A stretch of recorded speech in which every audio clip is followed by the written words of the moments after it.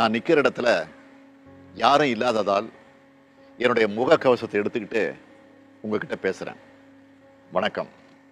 இது கொரோனான்ற பெருந்தொற்று காலமாக இருக்கிறதுனால அனைவரும் மிகுந்த பாதுகாப்போடவும் எச்சரிக்கையோடும் இருக்கணும்.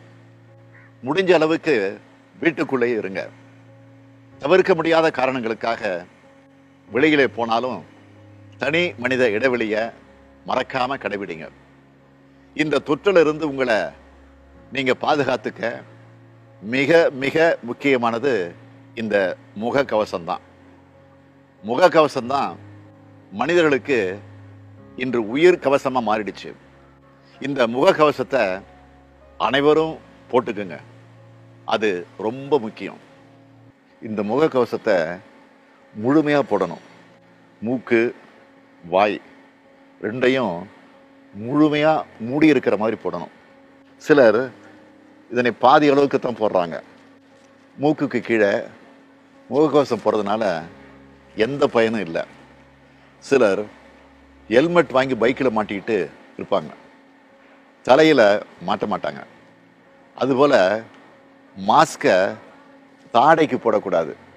முழுமையாக மூக்கு வாயை மூடணும். அதே போல் மருத்துவர்கள் இப்போ இன்னொரு விஷயத்தையும் சொல்கிறாங்க மக்கள் அதிகமாக கூடுற இடங்களுக்கு செல்லும்போது இரண்டு முகக்கவசங்களை சேர்த்து பயன்படுத்தலாம்னு சொல்கிறாங்க மருத்துவமனைகளுக்கு போகும்போது பேருந்துகளில் பயணிக்கும்போது கடைகளுக்கு செல்லும்போது தொழிற்சாலைகள் மற்றும் அலுவலகங்களை பணியாற்றும் போது இரண்டு மாஸ்க் அணிகிறது நல்லதுன்னு சொல்றாங்க. கிருமி நாசினியால் கைகளை அடிக்கடி சுத்தப்படுத்துங்க. நல்லா முழுமையாக எடுத்து விரல் இடுக்கில் விரல்களை விட்டு முழுமையாக துடைக்கணும். இது எல்லாத்துக்கும் மேலே மிக மிக முக்கியமானது தடுப்பூசி. இதுவரை தடுப்பூசி போடாதவங்க உடனடியாக தடுப்பூசி போட்டுக்குங்க. நோய் தொற்றிலிருந்து நம்மை காக்கவும் மீட்கவும் இருக்கிற மிக மிக முக்கியமான கவசம் தடுப்பூசி தான். நான் தடுப்பூசியை போட்டுக்கிட்டேன். இரண்டு டோஸ்களையும் போட்டுக்கிட்டேன். சிலருக்கு காய்ச்சல் உடல் வலி வரலாம். அதுவும் ஒரே நாளில் சரியாயிடும். அதனால் எந்த தயக்கமும் தேவையில்லை. தடுப்பூசி போடுறத ஒரு ஏக்கமாகவே தமிழக அரசு நடத்தி வருது.